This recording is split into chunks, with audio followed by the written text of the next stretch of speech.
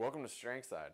Today we're talking about a very important topic, and that is how to really fix these rounded shoulders that are going on here, right? So now when you have rounded shoulders, you may be in pain, you may have some discomfort, and you probably don't have the full range and capacity that your shoulder can go through. So what's going on here? Well, there probably is some tight muscles going on here. There's probably some weak muscles going on here as well, right? And a lot of the time, if you get prescribed exer exercise for this, you're going to get external rotations, right? We're going to try to strengthen the, the back of the, uh, or we're going to try to strengthen the rotator cuff. We're going to try to strengthen the back of the shoulder and probably some scap retractors as well. These are all great things. We're going to stretch the front of the chest. But what I have found in my experience is that you can do as many of these as you want.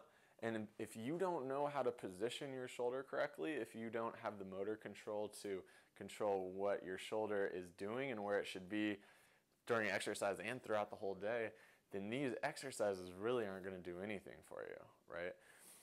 All you're going to be doing is doing those exercises in a poor position and then go back to a poor position when you're done. And we're really not going to get much out of it. So what we have to do is we have to focus on the motor control aspect and, and understand how to control your shoulder and set it in the position that is going to be most healthy for it to be in, right?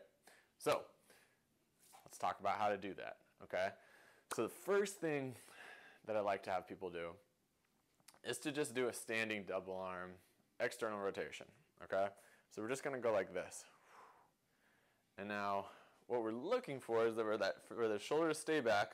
We don't want to dump into this internally rotated anterior tilted humerus position, right? We want that shoulder to stay back and then we're just going to go out to our limit here. When you get to that limit, go ahead and just squeeze a little bit, kind of press, try to press a little bit further and that's going to activate that shoulder and those external rotators. So we kind of just start finding which muscles we may need to be thinking about and activate, okay? So the elbows stay tight and we're going into some external rotation. Okay, so now that we've done that, you know, maybe or maybe not, you might be feeling these, these uh, external rotators in the back of the shoulder turning on. Hopefully you might be feeling that. If not, that's okay.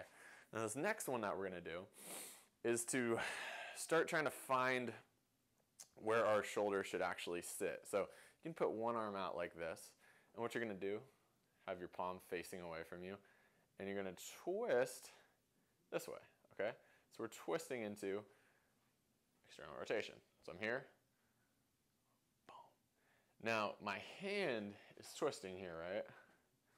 But what should really be going on is the whole arm should be twisting, and that is setting my shoulder into external rotation, okay? Now eventually, what we want to get to the point where we can do this and now I don't have to move my hands but I can still set my shoulder back into external rotation okay? So here now if we drop those hands down that's a well set shoulder right there right? That's where my shoulder should be. We're not going straight back into this okay? The shoulder comes back right? So now Another thing that you can think about is what we're actually doing here is we're kind of supinating the arms, which means that we're just flipping the palms upwards, right? So if I put these down by my sides, now my hands are facing this way, right? My palms are facing away from me. That's setting my shoulder into a better position, okay?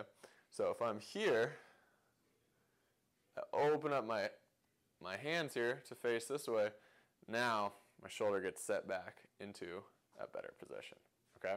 So this right here, this is what you need to pay attention to all day long, right? We gotta be conscious of this all the time because this is the problem, right?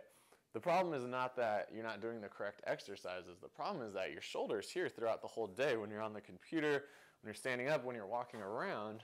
So then if I just go to the gym and do some rows and do some external rotations, what is that really going to do for me, right?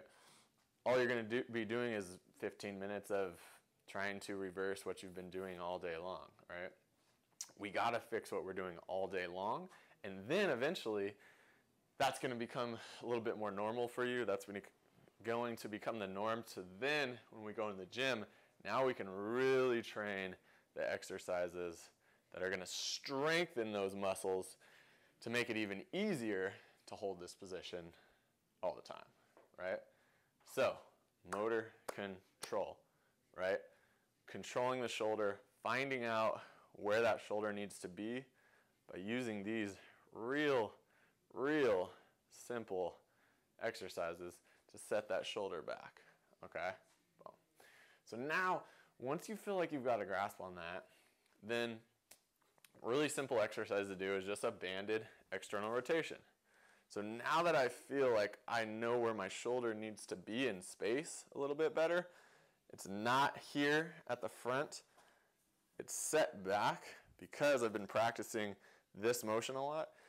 Now I can actually get something out of an, out of an exercise like a banded uh, ex standing external rotation, right, from my shoulder. So now I can do this exercise. I can really feel the right muscles kick on now, right? Really feel those rotator cuff, external rotator muscles being worked, getting fatigued, and then hopefully strengthening those muscles, right? Same thing we can do right here.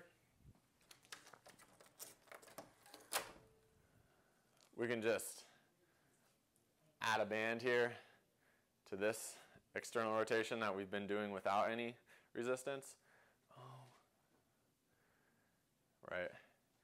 So now we're training that shoulder to be stronger in that external rotation range. But the point of the video is that that comes after you learn how to set the shoulder better, okay?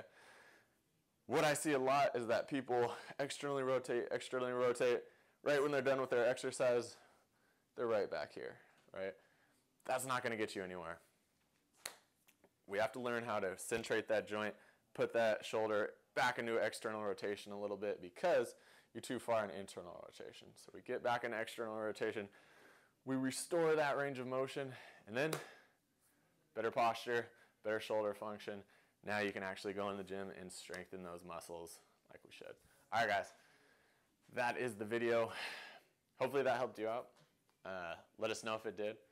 Be sure to like the video if you liked it. Subscribe to Strength Side. And as always, see you in the next one.